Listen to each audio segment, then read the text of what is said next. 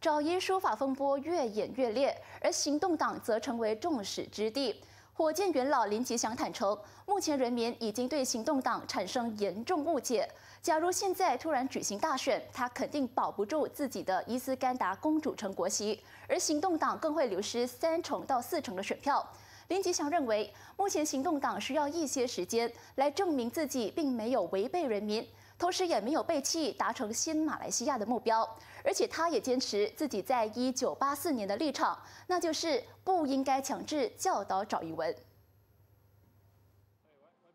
行动党近来对找遗书法风波发表的各种回应，遭到各界连声挞伐。该党元老林吉祥坦言，现在人民已经对火箭产生误解，要是突然举行大选，他肯定保不住伊斯干达公主城国席，而行动党在全国也会失去百分之三十到四十的选票。他认为，现在行动党需要一些时间，让人民明白，火箭没有放弃人民，也没有放弃建立一个团结。自由、公正、卓越和廉政的新马来西亚的期望和宗旨，但是行动党领袖也必须在持守建立新马来西亚的目标上具有能耐、坚毅和决心。林吉祥说，他坚持自己在一九八四年的立场。找遗文不应该被强制教导，而他也认为西蒙政府必须重新修订前朝所编排的国语课本，同时教育部应该对各方的意见保持开放的态度，并且和相关团体进行公平的讨论。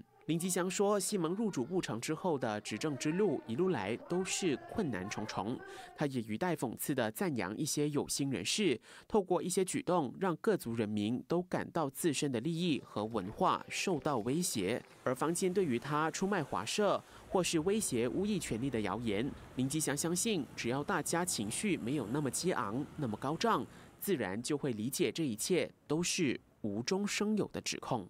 NTV 七综合报道。